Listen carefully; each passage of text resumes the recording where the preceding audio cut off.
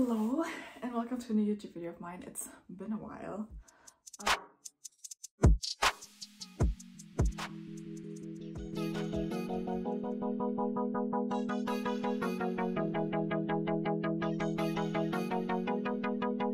Um, I am back at home as you can see um, and I've prepared a little video for you.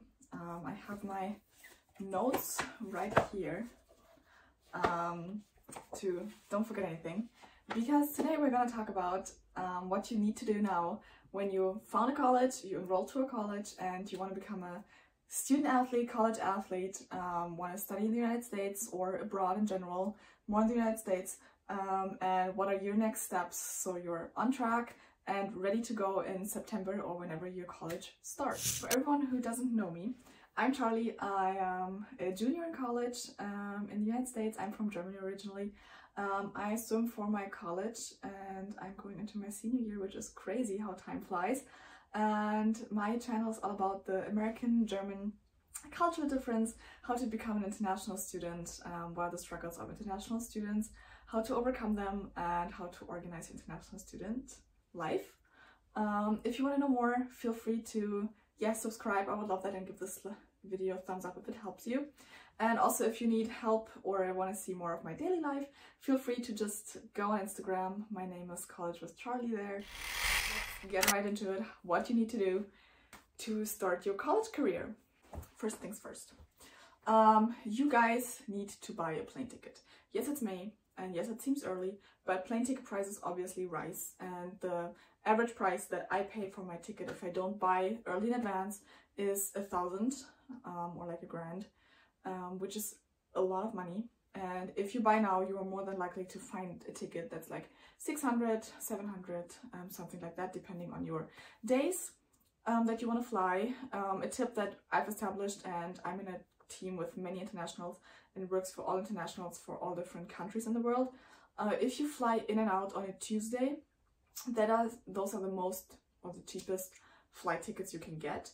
Um, if you book your flight on a Thursday, they are usually also cheaper than any other day of the week. Don't ask me why that is, but that's just what we've established. So we usually book our flights on a Thursday and fly in and out on a Tuesday if any anything's possible like that. Um, so that's the cheapest. I would always, always include at least one suitcase. Um, I would also include the option to like rebook your flight um, for no fee. Um, free cancellation is not really something you need because you will fly either way, but what if you get like a very bad ear infection and need to reschedule or something like that? Um, I would also include that. And um, yeah, that's it for the plane ticket. Get your financial situation organized. I cannot emphasize that enough. Get a bank, get a dollar bank, um, get something that you are able to pay as soon as you get there. So I have a card that is a euro card and that is, I have a bank with euros on it obviously, that um, is has its main like establishment or main location in Germany, but I don't have fees with the currency conversion, so I can just pay in dollars and it converts automatically. I have no extra fees. The other option is get a US bank there, but I would also very, very much recommend to look into banks beforehand and to look into like locations that are close to your campus. So my college is located in the cities. So I have a lot of bank locations close by. Um, I kind of picked between the US Bank and Wells Fargo and I went with Wells Fargo um, just because all my friends are at Wells Fargo and we can just all take a trip at the same time there. Um, so just look for some bank locations close to your college, look for the like different accounts you can open. I have a normal checking account, you basically also want to have a checking account, you don't want to have a savings account. Um, they also have usually some cards for students that are just feeless, so look for that and then you can just go there in like the first or second day that you arrive to get something to pay with and to have your money on. Keeping going with the organizational things, um, you need to make sure to get a health insurance. There are also two different options. Option number one is you go with an American health insurance. Um, those American, American health insurances, um, you can just ask your ISS office, which stands for International Student Services. They usually have some plans prepared and you can just sign up and like get them through your ISS office. Um, as a student athlete, you are required to have a certain type of insurance, but your coach will connect you with your athletic trainer or anyone in the legal department to tell you about that. So definitely reach out to them and ask them what is required. Um, because option number two is you get a travel health insurance kind of that's what i have so i have a german travel health insurance for five years um, and i pay yearly and then they everything runs through them and they are based in germany um, but everything is covered and i just felt safer going into my freshman year to have a german contract than having an american contract being in the united states both would have been completely fine kind of in the sun like health um, department go to your doctors, see them for a checkup. Um, I usually go to my dentist and my general practitioner to get my blood tested that I'm healthy, to get my teeth checked. And then I also go to the gynecologist, um, just because that's a regular thing in Germany. Every, every woman does that once a year, so I do that too, and I just put them in the summer. Um, you also, if you need any prescribed drugs, get them now. Um, go to the doctors now, so if anything has to be fixed, you have two months to like fix it. For example, if you have something with your teeth, you don't want to find that out two days before you leave. You want to find out now so you can fix it and you're fine going abroad. One thing that is very, very important, um, especially for our generation, get a phone plan. Um, get a phone plan in the United States so you can use your internet um, or you have internet. I would recommend an eSIM if you are able to do that. Um, just look into like phone plans, United States. Um, I know that AT&T is big, for example. Um, I'm not with AT&T, I'm with something called Mint Mobile, um, that's just a normal, like just a website only company. There are no locations for them. They do eSIM. I have unlimited, which I would definitely recommend because I can just travel while we are on the bus or like I do bus rides, whatever. I can just FaceTime my parents whenever I want to and I'm just free with my unlimited plan. And the unlimited plans are usually not that much more expensive than a limited plan, so it's definitely worth it. The last kind of topic before I go to the visa situation here um, is get on your college communication system. So you usually have like a college email and you have like a different type of communication where you all see your grades and stuff. We have Blackboard, but they're like so many more. So make sure to sign up for those so you get notifications of anything you need to do. And from there, make sure to you submit any form that's needed and you apply for everything that's needed on time. For example, you need to apply for housing, you need to apply for your meal plan or sign up for your meal plan.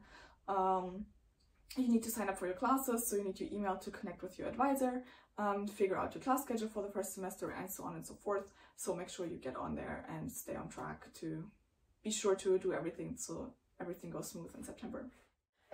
And then the visa. So you are last minute for visa right now. It's the end of May. You need, need, need to apply for your visa. The very first thing you need to apply for your visa is you need your I-20, um, which your college needs to send you in a real letter in a paper format and signed and dated. So if you don't have that, reach out to your ISS office today in like 10 minutes after you stop this video and ask for your I-20. You will have to pay for shipping for your I-20, but without the I-20, there is no way you're going to enter the United States and there's no way you're going to get a visa. So once you have your I-20, um, you will apply online um, for a visa if you're a student, um, you will apply for an F1 visa, but make sure that you like apply for the correct visa. If you're like an au pair or anything else, you need to apply for different visa types. As students, undergrad and graduate, you need to apply for an F1 visa.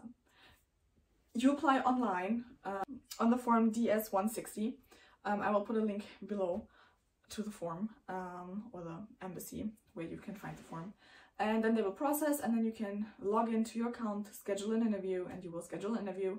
You will make sure that everything they list that they need you to bring with you, that you have that and bring that with you. Then you're going to dress a little more fancy, a little more businessy and they will also provide a couple of questions um, that you will need to answer during the interview.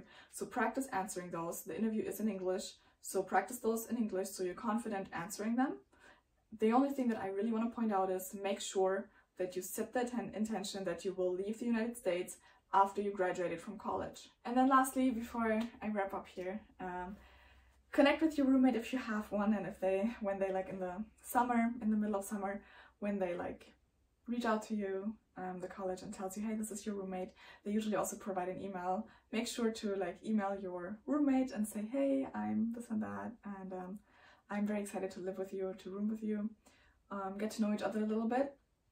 I would also recommend to yeah, get organized and think about what are you going to bring to the room, what are what is she going to bring to the room? Um, yeah, that's it. If you have any questions, please, please, please put them in the comments. And if you like the video, give me a thumbs up. And I would love to see you in the next video. And yeah, if you have any questions, DM me on Instagram and follow me on Instagram. And then I will see you in the next video.